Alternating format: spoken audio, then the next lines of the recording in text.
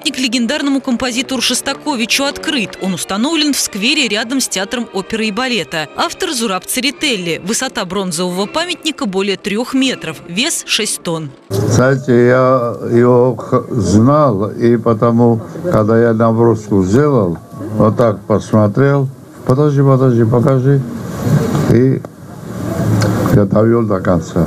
Кстати. Он был чудный, уникальнейший человек, очень по-человечески. Он поколению любил и поколению его ценит. С инициативой установить в Самаре памятник Дмитрию Шостаковичу выступила общероссийская общественно-государственная организация «Российское военно-историческое общество». Память о Дмитрия Дмитриевича Шостаковича, она, конечно же, навсегда в сердцах из тысяч самарцев и граждан России, и далеко за ее пределами. Но то, что именно в лихие годы, грозные годы войны Дмитрий Дмитриевич творил здесь, и, наверное, и та атмосфера, которая была в нашем городе, и наша великая река, и силы самарской земли вдохновляли его на творчество, у меня нет никаких сомнений. Я хочу поблагодарить всех, кто имел отношение к установке памятника. Самара, Самарская область – это не просто географическая точка на карте страны. Это действительно одно, одно из сердец нашей Родины. Это действительно культурное сердце России. И появление сегодня здесь памятника – это еще один пример и наглядное доказательство и подтверждение этого тезиса. Памятник Дмитрия Дмитриевича Шостаковича действительно олицетворяет собой очень знаковые события в нашем с вами замечательном городе. И, конечно, этот человек заслуживает этот памятник, как никто другой. Зураб Константинович, огромное вам спасибо. Самарцы новой городской достопримечательности рады и уже охотно делают фото на память. Я приехала специально.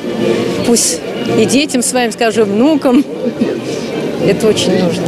Потом симфония, она есть симфония. И с память то, что у нас именно во время войны произошло именно у нас, это же это историческая дата.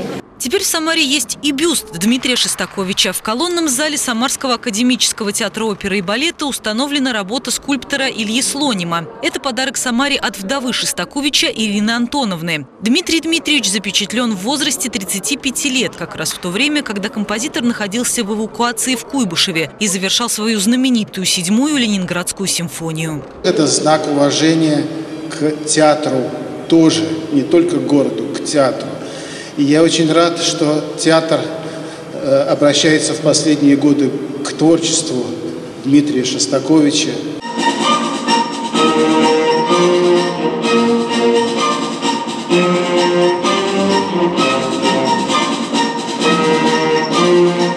Памяти композиторе в Самаре на площади Куйбышева открылся первый фестиваль симфонической музыки «Седьмая симфония». Спустя 77 лет после первого исполнения известное во всем мире произведение Шостаковича исполняют музыканты Самарской филармонии под управлением народного артиста России Михаила Щербакова.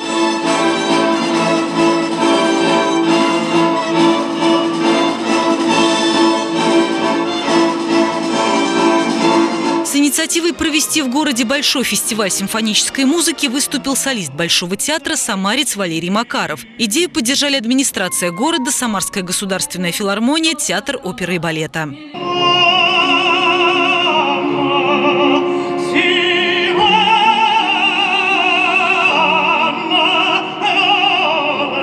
Я вдохновляюсь его музыкой, его творчеством, его способностью не бояться передавать свои чувства и свою жизнь в музыке, жизнь русского народа. На фестиваль памяти Дмитрия Шестаковича приехали артисты Московского Большого театра. Солистка оперной труппы Мария Лобанова рассказала, что дебютировала на большой сцене именно с партией Екатерины Измайловой в опере Шестаковича «Леди Макбет». Поэтому участие в Самарском фестивале особенно волнительно.